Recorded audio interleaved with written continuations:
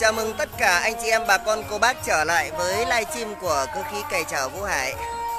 Sau à, chuyến đi công tác Hà Nam ngày hôm qua, hôm nay anh em chúng tôi lại có những siêu lợi phẩm để đem về phục vụ cho xưởng của mình để cân à, đồng nát sắt vụn. Năm nay được cái là vật tư lên cao, đơn à, hàng tăng giá lên là sắt vụn năm nay cũng được giá nên em là đang hiện tại thu mua về rất là đông. Được nguyên một đôi bánh lồng rất là bự một dàn cày ờ, 5 chảo. À, xin ờ, khoe với anh em để ai có nhu cầu nhã hứng nhã ý thì là đến trực tiếp để mua hoặc là thương lượng sản phẩm bên em. Ngoài ra thì nhân tiện là cầu hàng này xuống thì anh em chúng em lại tiếp tục là bốc dàn vuông luống để đi phan thiết phục vụ cho anh thông anh trần thông. Và ngoài ra lại tiếp tục là đóng thêm một dàn cày 5 chảo cũng lên đường đi Phan Thiết luôn.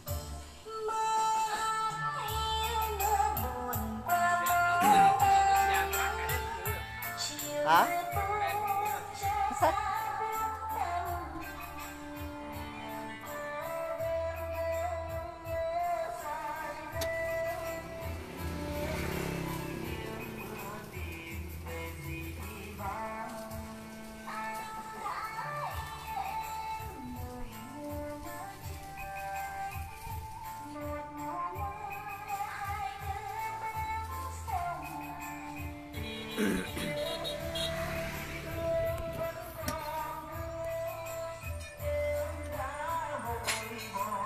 Ờ, Facebook của anh em thì ờ, rất là nuột nà. Facebook của em cứ đăng lên cái thì bắt đầu nó lại có cái vấn đề trục trặc về kỹ thuật chắc có khả năng là do mình bán hàng ờ, và đăng bài nhiều nên là Facebook ừ, cấm cản chắc